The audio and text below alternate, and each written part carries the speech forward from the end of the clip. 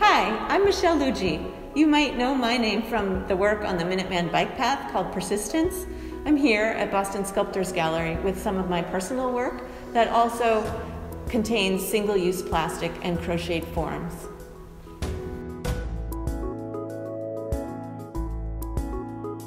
I've been working on this project for a couple of years.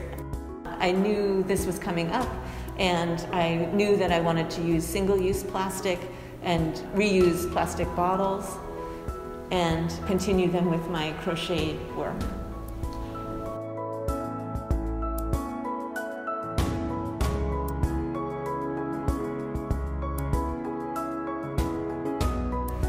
So I started by looking at actual radiolarian forms and other microorganisms in water. And when I looked at those forms, I saw a relationship between the forms of the actual uh, microorganisms and plastic, single-use plastic bottles. So I started by covering the plastic bottles with crochet plastic and using those as building blocks and components for the work that I wanted to make to represent this ocean microcosm. That led me to collecting a lot of plastic. and when I started to look at some of those plastics, individual pieces also reminded me of those forms.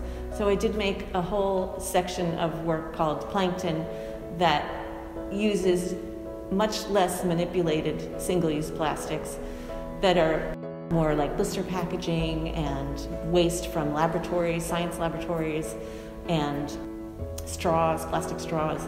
So just trying to use those pieces much more close to how they actually come to be more recognizable.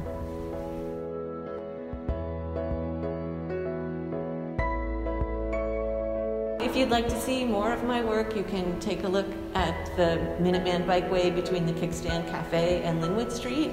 You can go to my website, www.mlougee.com, or to the Boston Sculptors Gallery website, www.bostonsculptors.com.